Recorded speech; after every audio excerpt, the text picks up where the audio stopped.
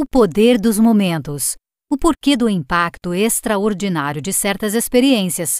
Por Chip Heath e Dan Heath. O Poder dos Momentos é um microbook destinado a explicar como alguns acontecimentos moldam nossas identidades pelo resto da vida.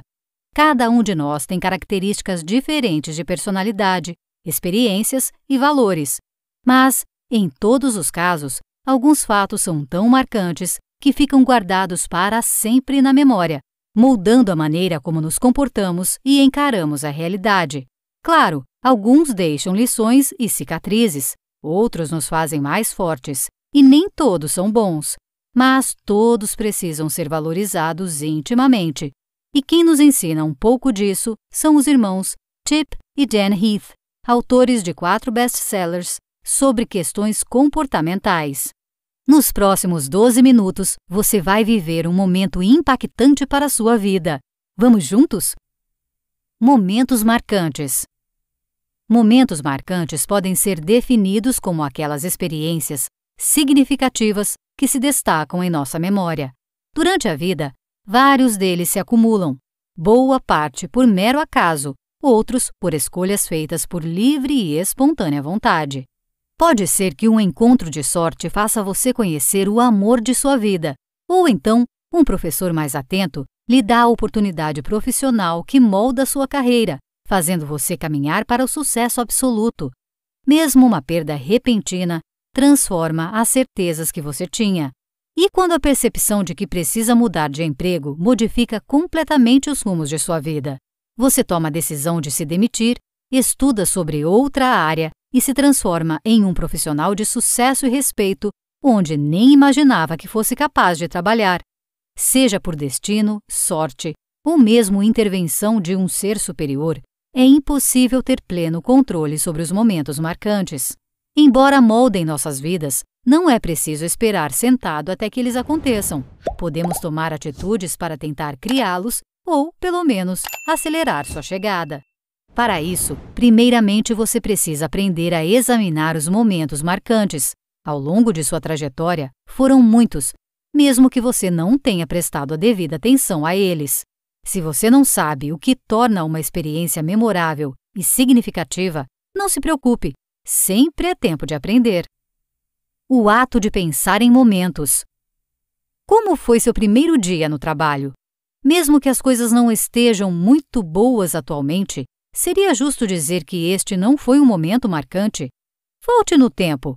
Para outros funcionários, alguns até desiludidos e insatisfeitos com a vida profissional, parecia um dia comum, mas então, você chega e se apresenta. Parte da equipe pergunta quem é o novo funcionário. Outros achavam que você começaria apenas na semana seguinte. Então, mostram a você a mesa de trabalho com um computador e os cabos que precisam ser testados para ver se tudo está funcionando. Pedem para esperar um pouco. O chefe está em reunião e chega mais tarde.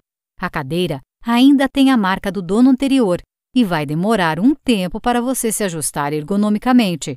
Lembrou? Dá para dizer que este não foi um momento marcante que trouxe experiências novas desde esse começo? Demora um pouco até os colegas se aproximarem e terem maior contato com você, criando certa amizade e depois, quem sabe, compartilhando bons momentos fora do ambiente corporativo. O ato de pensar em momentos nos permite uma visão maior sobre como dias assim, esquecidos, impactam profundamente nossa trajetória. Quantos outros instantes como esse não passam despercebidos enquanto você reclama de um cenário adverso? Você lembra como conheceu seus melhores amigos ou mesmo seu cônjuge?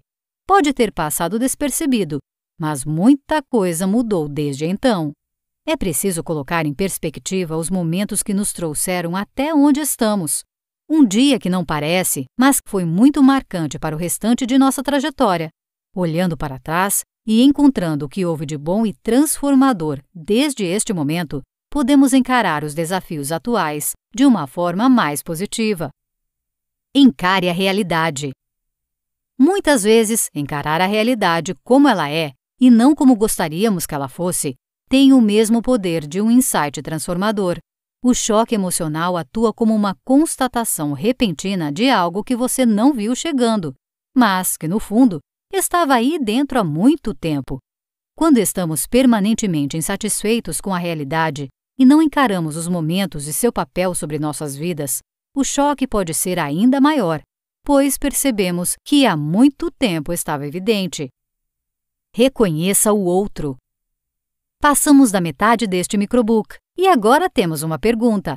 Como você expressa o reconhecimento pessoal sobre um feito, uma qualidade ou mesmo um problema de outras pessoas? Para muita gente, é muito difícil reconhecer as próprias habilidades e deficiências, e sequer parece possível expressar as percepções sobre a forma como o outro se porta. Se você quer trabalhar para eternizar ainda mais momentos, precisa fortalecer o reconhecimento alheio. Ainda sobre esta questão, os autores contam a história de uma instituição de caridade que encontrou uma maneira de melhorar a reflexão sobre o reconhecimento pessoal. Seus líderes construíram, metodicamente, um sistema para expressar gratidão. O resultado foi curioso, porque trouxe um efeito bumerangue. Quem se sentia agradecido também tinha autoestima elevada, tanto quanto quem recebia o elogio. Da mesma forma, quando reconhecemos méritos e defeitos alheios, fortalecemos nossa própria capacidade de nos enxergarmos. E só quando temos uma visão mais ampla do mundo interno e do ambiente ao redor, conseguimos valorizar os momentos vividos. Dando esse passo, você começa a se sentir capaz de transformar os pequenos gestos e atitudes em momentos marcantes para o resto da vida. Se você nunca agradeceu devidamente o que outra pessoa fez para você, experimente fechar os olhos e tentar expressar o quão grato foi para essa outra pessoa. Se necessário, escreva em um papel. O reconhecimento e a gratidão pelo que os outros fazem engrandece os momentos. Pratique a coragem. Quando as pessoas relatam os momentos mais orgulhosos de suas vidas, costumam começar por fatos envolvendo familiares queridos. Pode ser o dia do casamento, o nascimento dos filhos, a formação dos rebentos em uma universidade. E essa atitude é natural. Afinal, só depois das realizações familiares o ser humano costuma compartilhar momentos individuais como seus grandes feitos. Ainda assim, ao nos orgulharmos das pessoas que amamos, sentimos satisfação genuína por nossas próprias conquistas, porque estamos ali incluídos naquele conjunto de pessoas que convive com muito amor, brigas e desejo de um ajudar aos outros. Quando o objetivo de orgulho por um momento é individual, quase sempre o fato marcante envolve algum ato de coragem. Quantas vezes você ouviu frases como estas: Eu defendi alguém, eu fiquei firme e mantive a calma, eu tomei uma posição em que acreditava, eu me recusei a recuar. Nesses casos, não falamos de conquistas capazes de serem incluídas em uma placa ou mesmo possuírem comprovação em certificados. Trata-se de bravura plena, que fez as pessoas engolirem seco, deixarem o medo de lado e seguirem adiante.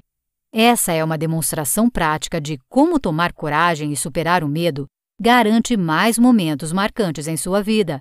Em vez de ficar acuado, com medo de tomar atitudes, vá em frente Grandes atos heróicos e corajosos foram tomados quando se passou por cima dos receios, desde os mais bobos até aqueles que alertavam sobre fortes perigos.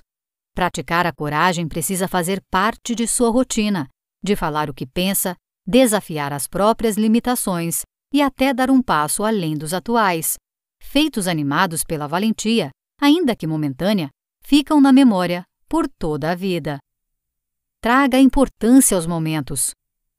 Após perceber como os momentos são poderosos para inflar a nossa autoestima, fica mais fácil identificar o surgimento de oportunidades que nos permitem moldá-los à nossa maneira, fazendo de cada um deles um ato transformador para o restante de nossas vidas. Você certamente já sentiu aquele frio na barriga, mas respirou fundo, seguiu adiante, teve uma nova experiência acontecendo à sua frente e guardou aquele dia até hoje. Essa sensação de estar vivendo um momento marcante precisa ser valorizada para que não o deixemos ser desperdiçado, gerando arrependimentos e uma nostalgia ineficaz no restante da vida. Pare, analise, confira o mundo ao redor. Quantas coisas de sua vida começaram por atos que pareciam impossíveis?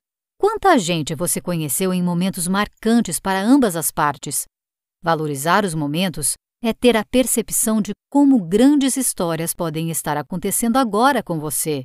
Fique atento, passa muito rápido. A vida é feita de grandes histórias que ficam em nossa memória por muitos anos e nos fazem contar a mesma história incontáveis vezes. Neste microbook, ficou claro o quanto é preciso valorizar cada um deles. Nos piores, tiramos boas lições para melhorar e não repetir os mesmos erros. E nos melhores, é preciso ter consciência e aproveitar cada segundo vivido. Afinal, são eles que moldam nossa identidade e fazem a existência realmente valer a pena. Momentos são poderosos. Empodere-se com cada um deles. Em soft skills, você aprende que no mundo atual não bastam habilidades técnicas para se destacar no mercado de trabalho. Também é preciso cultivar bons comportamentos.